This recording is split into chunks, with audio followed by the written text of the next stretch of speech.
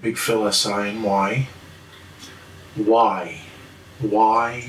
Why was President Obama crying? Why? That's the question. Right now, why was President Obama crying at the press conference? If you know why, respond below. Comment below. Let me know why President Obama was crying at the press conference.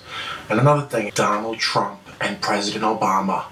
Why is Donald Trump all up in President Obama's grill? Someone tell me, please. If you have the answer to why President Obama and Donald Trump are always at each other's throats, please comment below. Let me know why. Thanks for watching.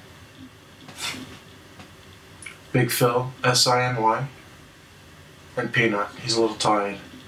Have a good night, everybody.